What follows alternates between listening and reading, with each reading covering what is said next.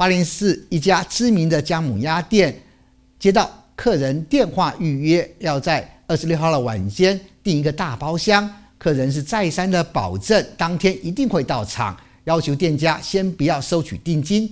结果时间一到，却爽约没有出现，电话也不接，而店家预先购买好的食材，最后也只能自行吸收，损失超过了万元，而。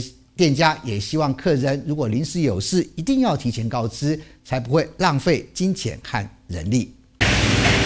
厨房里员工大锅翻炒，正在忙着准备食材。这是花莲一家知名姜母鸭店，符合式经营，吸引不少顾客上门。带家人来这边吃，就是这种集合的这种状况。可以外带，可以内用，尤其是店家的二十五人大包厢服务，特别吸引多人聚餐。店家接到大包厢订单，时间是在二十六号晚间六点，以为是接到尾牙大单，最后却是爽约未到。再三的保证说他当天一定会到，然后希望我们不要收这个定金。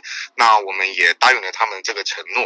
那在二十六号当天，其实我们已经有把所有的食材都准备好，也都烹饪的差不多了。那时间到了之后，邓先生就完全没有接电话。预定时间一到，客人没出现，电话也不接。这下预先准备好的食材好料，成本只能由店家自行吸收，粗估损失将近万元。我觉得要如果要改时间，一定要跟老板先说，不管临时有什么事情发生。嗯嗯嗯。因为他们店家如果准备食材，那个食材都是耗费在那边，如果没有来的话，它的成本就会很高。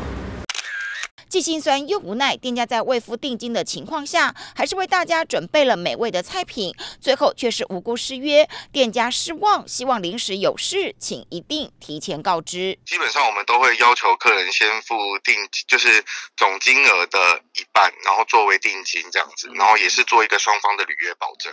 原本以为上门的是大单，最后却赔上金钱跟人力，未来也考虑要收取定金，给店家、客人双方更多的保障。记者综合报道。